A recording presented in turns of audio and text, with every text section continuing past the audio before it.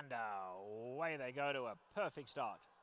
Clever Chloe is fast from the outside gate. Lady Liam coming through at the rail and blazing along between them. Those three very quick. Aerial Prancer, one from the rail, joins them too. Ken Doom is settling in fifth, four lengths off the leaders, alongside Madre Luna. At the back, we have Irish Chimes and Lanida.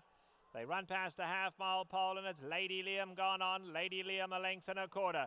Blazing along is in second. Down at the rail we have Aerial Prancer. Ken Doom is right there in fourth and starting to come after the leaders. Ken Doom on the move now, three lengths off these leaders.